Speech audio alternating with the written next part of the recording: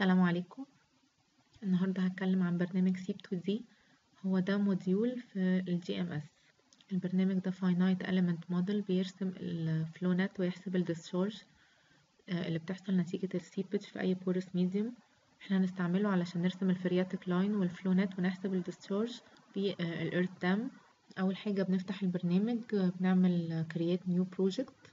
بنختار SEEP2D و profile lines ونقول له okay لو إحنا أول مرة نستعمل البرنامج بنختار edit preferences program mode ونختار GMS 2D ونقول له okay البرنامج ده زي ما إحنا قلنا 2D finite element model بيحسب في ال steady state هو 2 dimensional. فال 2 dimensional كأننا واخدين x و y يعني horizontal و vertical profile.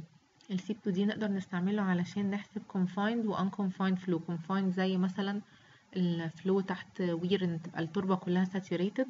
وال unconfined زي ما إحنا هنستعمله دلوقتي إن ال flow يبقى ليه free surface زي ال flow في ال earth dam علشان أستخدم جي ام اس سيب 2 دي إحنا النسخة اللي هنستعملها هي 10.4.5 عشان أقدر أستعمله أول خطوة بعملها إن أنا هرسم المسألة اللي أنا عايزة أحلها أو المشكلة اللي أنا عايزة أحلها اللي هو السد زي ما إحنا الرسمة اللي في ال sheet كده أنا هرسمه برضو.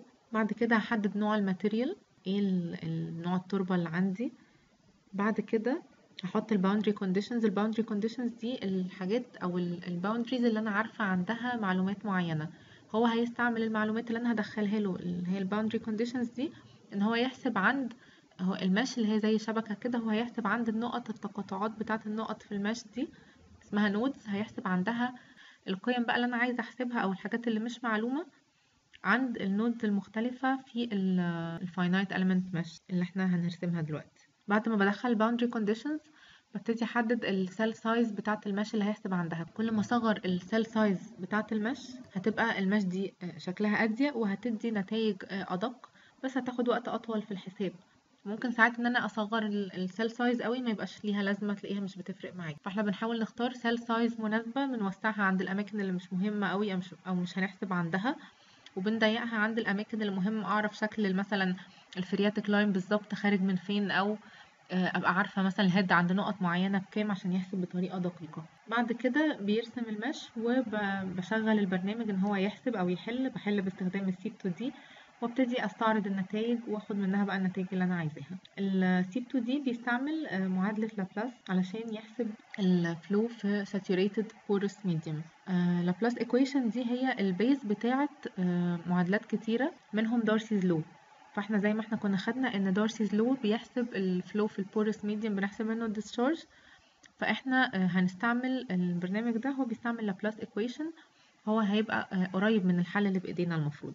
هنقدر نستعرض بقى النتائج زي زي ما إحنا قلنا ال phreatic line ال equipotential lines ال flow net اتجاهات السرعات ال total discharge المعدية. كل ده البرنامج هيحسبه لنا. هنبدأ دلوقتي عشان نحل مسألة. أول حاجة لو إحنا بادئين دلوقتي هنقول file new project زي ما إحنا قلنا من شوية هنختار SEEP2D و profile lines ونقول له okay بعد كده الوحدات ال default بتاعته بتبقى British units فاحنا عايزين نغير الوحدات هنقول له edit units. هنختار أول حاجة ال units كلها SI units عشان إحنا بنشتغل عليها. ال time هو لو إحنا دخلنا له ال K متر per second بتبقى قيمتها قليلة قوي هو مثلا point O O حاجة هيفهم إن هي zero فإحنا بنحاول نشتغل على رقم كبير شوية متر per day متر per year يبقى رقم أكبر من الصفر عشان هو يفهم القيمة دي. فاحنا ممكن نخلي مثلا ال time بال year عشان ال K ال hydraulic conductivity تتحسب متر per year فتبقى رقم كبير شوية. ال mass ممكن نخليه كيلو جرام ال force هنخليها نيوتن. وال concentration هنسيبه زي ما هو. مش هنحتاج حاجة فيه في الموديل بتاعنا ده. بعد كده إحنا عايزين نرسم المشكلة بتاعتنا. فهنفتح ال assignment ونحل المسألة بتاعة الراك 2 ال SEEP2D بيبقى محتاج إن أنت ترسم له الرسمة ب coordinates نقط معينة. فانا أخدت الرسمة دي ونقلتها في ال Paint علشان بس أرسم لكم ال coordinates إيه النقط اللي أنا محتاجة أعرفها؟ خلينا نعلم عليها كده. في النقطة دي أنا محتاجة أعرفها. والنقطة دي والنقطة دي ودي ودي ودي. بما إن ال SEEP2D بيحسب باستخدام Laplace equation اللي هي ال base بتاع Darcy's equation يبقى الجزء بتاع ال rock toe ده أنا مش محتاجة أرسمه لأن هو not following Darcy's law. يعني هو المية فيه مش بتمشي following Darcy's law. فأنا محتاجة أرسم بس لحد هنا.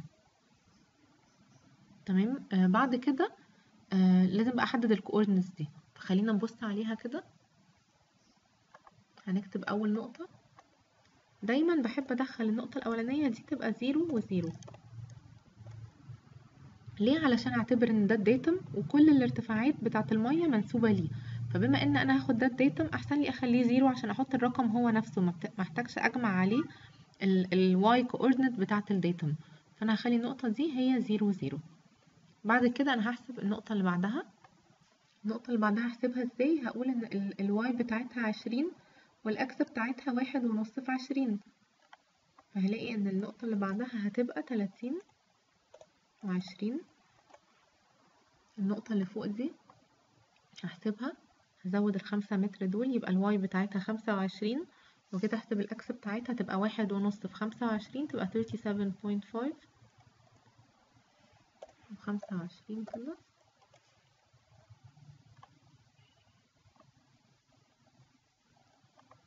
النقطة دي هحسبها إزاي؟ هزود على ال X ستة متر وال Y زي ما هي. تبقى forty three point five. خمسة وعشرين. النقطة دي أنا مش عارفة المسافة دي قد إيه.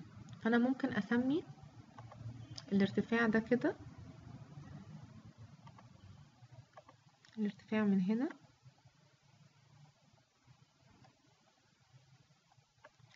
ده كده. ممكن أسميه y تبقى المسافة ال 12 دي بتساوي إيه؟ بتساوي ده, ده واحد إلى واحد وده واحد ونص إلى واحد. يبقى المسافة دي لو إحنا قلنا إنها من هنا لحد هنا وبعدين هنعمل واحدة تانية كده. هنلاقي إن دي بتساوي Y ودي بتساوي التانية دي بتساوي واحد ونص Y. يبقى دي اتنين ونص Y بتساوي اتناشر. هتلاقوا إن ال Y طلعت four point eight متر يبقى ال Y هتساوي four point eight متر أنا هستعمل الكلام ده في إن أنا بقى أجيب ال coordinates هنا. طيب ال coordinates هنا بتساوي كام؟ حسبتها طلعت دي seventy three point eight وال Y بتاعتها طبعا four point eight زي ما إحنا كنا حاسبينها.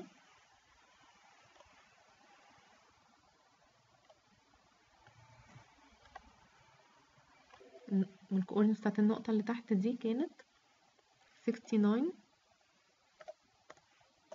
و zero أنا جبت ال X بتاعتها منين؟ ال Y ب zero تحت هنا وال X بتاعتها حسبت العرض بتاع ال base كله وطرحت منه ال 12 كده أنا عندي ال coordinates بتاعت كل النقط. ليه أنا خدت النقطة دي؟ لأن النقطة دي عندي مهمة جدا اللي هي التقاء المية مع ال upstream slope of the dam فأنا محتاجة أعرف النقطة دي ما ينفعش آخد الخط ده خط واحد على بعض. وال face ده زي ما إحنا قلنا المرة اللي فاتت إحنا عندنا حاجة اسمها ال exit face. ال exit face بناخده في حالة ال rock toe هو ده. فأنا مهم جدا إن أنا أرسم ال face ده وأبقى عارفة إن هو ده اللي المية هتخرج منه. في حالة إن مفيش rock toe كنا قلنا إن هو هيبقى ال slope ده كله وفي حالة لو في horizontal drain بيبقى السطح بتاع ال horizontal drain أو horizontal filter. هنرجع بقى للبرنامج ونشوف هندخل إزاي الكوردينتس دي والرسمة دي على السيب 2 دي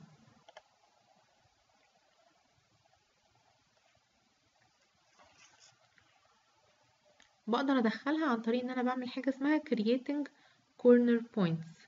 هاجي هنا هعمل right click على profile lines.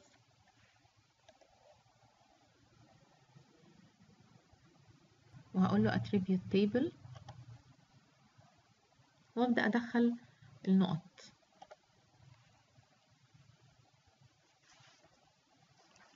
فأنا عندي أول نقطة ال X بتاعتها zero وال Y بتاعتها zero. تاني نقطة 30 20 37.5 25 43.5 25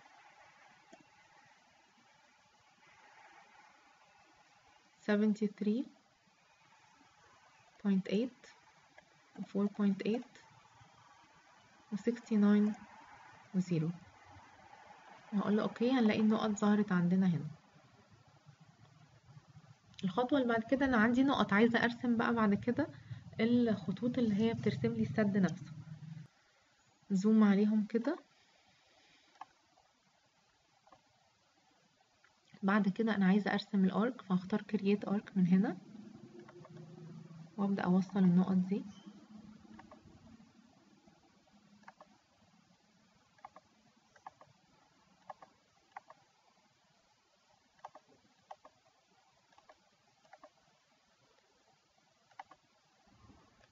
بنحاول نعمل save كل شوية لأن البرنامج ده مفهوش undo. فعشان لو غلطت في حاجة مرجعش أعيد من الأول بحتاج أعمل save كل شوية عشان لو بس غلطت في حاجة ممكن حتى أسميها أسامي steps مختلفة. عشان لو غلطت في حاجة محتاجش أعيد من الأول تاني خالص أرجع بس لآخر حاجة عملتها صح. بعد كده هعمل حاجة اسمها polygon. ال polygon ده هيساعدني لو أنا عندي مثلا different materials عندي مثلا core في السد بيخليلي كل جزء أقدر أدخله آه properties لل materials مختلفة أخلي ال mesh ضيقة في مكان وواسعة في مكان. هو لازم بنعمل حاجة اسمها build polygon. هعملها منين؟ هاجي feature objects وهختار هنا build polygons. هلاقي إن أنا أقدر أعمل بعد كده select على ال polygon ده. بعد كده أقدر أدخل ال materials. فأعمل edit materials وأبدأ أدخل ال material. أول حاجة عندي K1 و K2 K1 و K2 ده معتمد إن ال soil دي ممكن تبقى anisotropic يعني ال K في اتجاه X غير ال K في اتجاه Y يعني K1 دي ال X و K2 ال Y. ال angle دي إن هما ممكن يبقوا كمان مش في, في اتجاه X و Y لأ بزاوية. يعني ممكن مايلين بزاوية اللي هي بتاعت ال angle دي مع ال X يعني ال anisotropy مش في اتجاه X و Y لأ بزاوية. فأنا عندي غالبا هتبقى ال angle دي ب zero وفي ال sheet هنا عندي K1 بتساوي K2 إلا في آخر مسألة KX مختلف عن KY زي ما إحنا قلنا إن ال K هدخلها متر per day أو متر per year فاحنا مختارين الوحدات في الأول كانت متر per year فأنا اللي عندي في ال sheet هنا كانت متر per second هحتاج أحولها لمتر per year خلينا نحسبها كده تطلع كام؟ هي 6.34 times 10 power negative 7 متر per second هي طلعت 19.994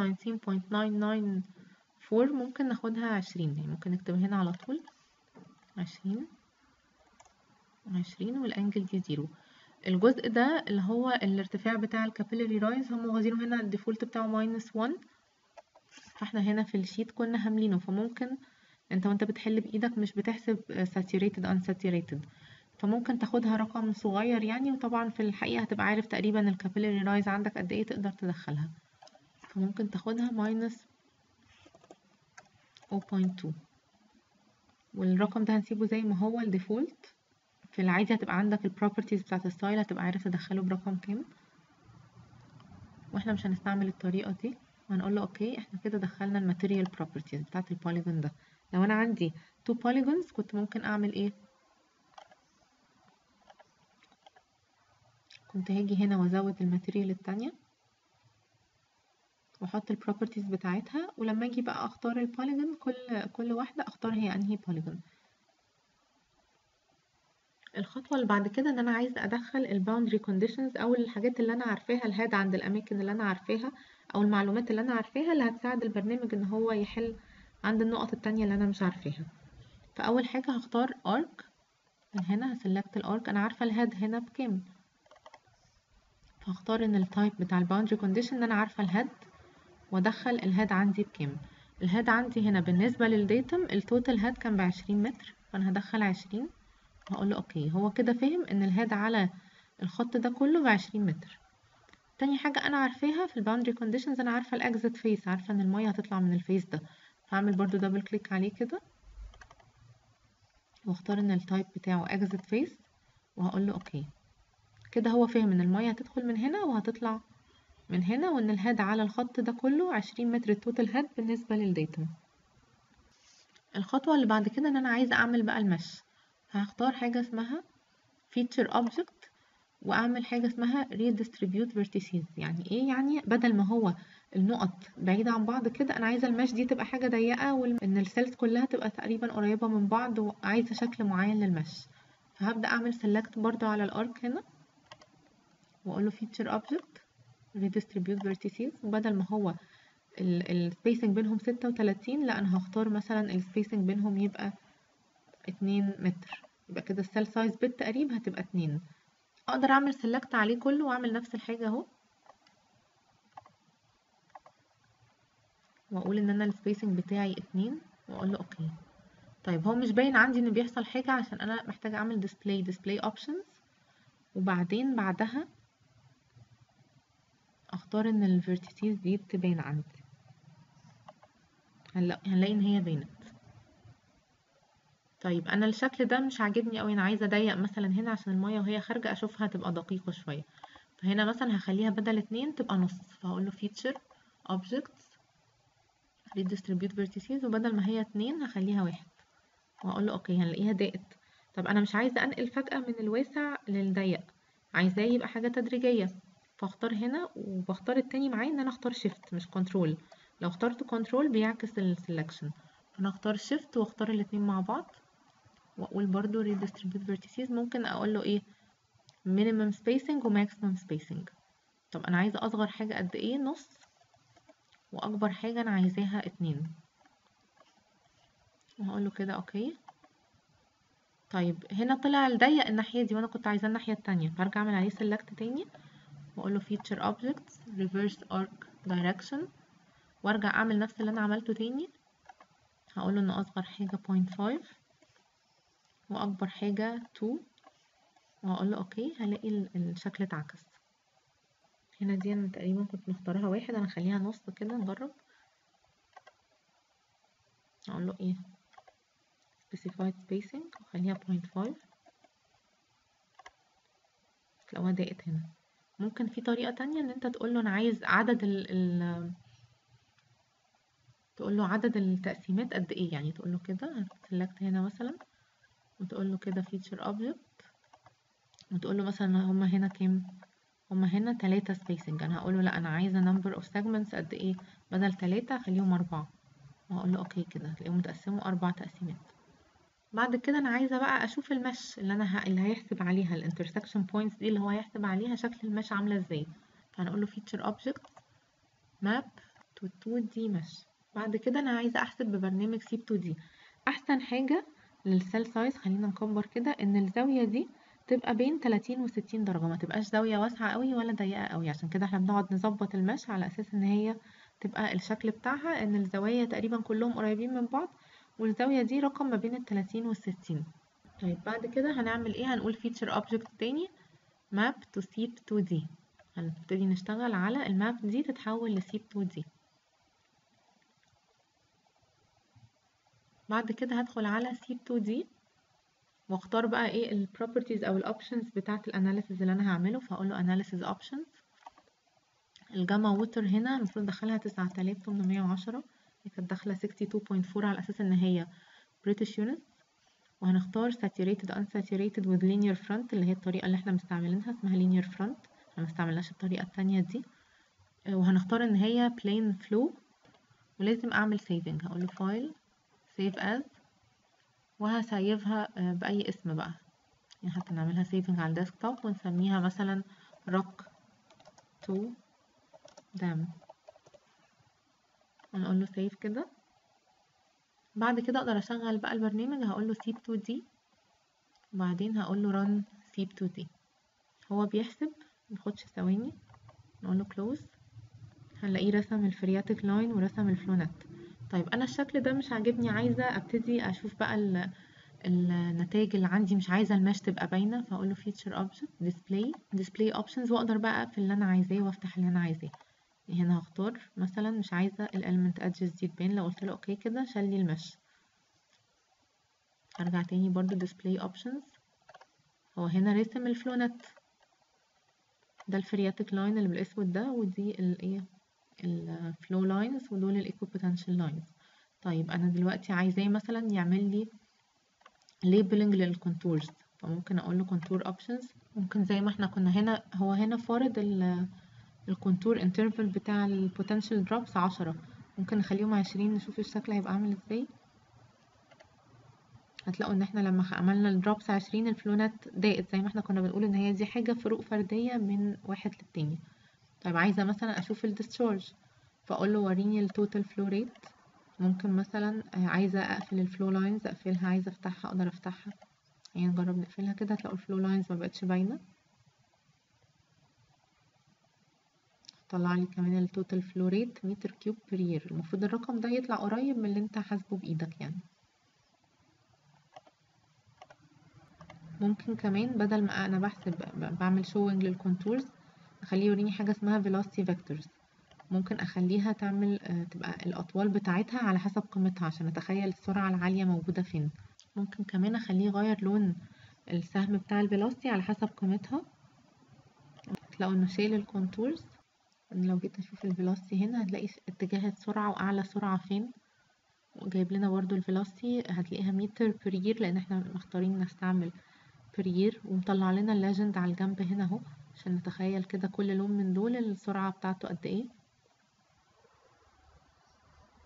ممكن برضو هنا من display options أخليه ال contours تاني ترجع ونقول له عايزينه يكتب القيم بتاعة ال contours دي عليها ال delta H بقد إيه. هنقول له okay كده. نرجع هنا تاني. هنجيب بعد كده ال total head هو طبعا كل لون هيقول لنا القيمة بتاعة ال contour بتاعه قد إيه. نقدر كمان نخليها بدل ما هي linear نخليها color fill أو color fill and linear. خلينا نجربها كده. هتلاقوا الشكل اللي عندنا ده إن أنت تخليها كأنها الألوان يعني solid مليانة جوه التب وعندك ال legend اللي في الجنب ده تفهم منه قيمة كل لون معناها إيه. لو احتجت مثلا إن أنت تاخد ال output بتاعك ده الرسمة دي في في file Word مثلا أو في تاخده كصورة أو أي حاجة بتقدر تعمل screen capture من هنا. ممكن تحطها في ال Paint كده. أو مثلا في file Word بالشكل ده. كده نقدر ناخد ال output الصور بتاعة طالعة من البرنامج نقدر نستعملها عشان ن present النتائج يعني نعمل report أي حاجة إحنا عايزينها. كده إحنا حلينا المسألة بتاعة ال rock toe لو جينا نبص على ال assignment هنلاقي إن هنا نفس الحاجة بس هنخلي بالنا إن عندنا Kx مختلفة عن Ky وال exit face هو ده. والمسألة التانية بتاعة ال horizontal filter برضو هيبقى هنا هو ده ال exit face في ال boundary conditions فانتوا كده تقدروا تحلوا الثلاث مسائل اللي في ال assignment هتلاقوا واحدة على ال horizontal filter واحدة على ال rock toe اللي إحنا عملناها مع بعض دلوقتي وواحدة على ال anisotropic soil تقدروا تحلوهم وتقارنوا النتائج بتاعتكم بال بالحاجة اللي أنتوا حلتوها بإيديكوا بال assignment الأولاني اللي أنتوا حلتوه بإيديكوا وتشوفوا الفرق قد إيه تقريبا وهتحسوا بقى بالفرق إن البرنامج بيحسب أسرع طبعا والطريقة أسهل ومش محتاج ترسم الرسم ده كله. وشكرا.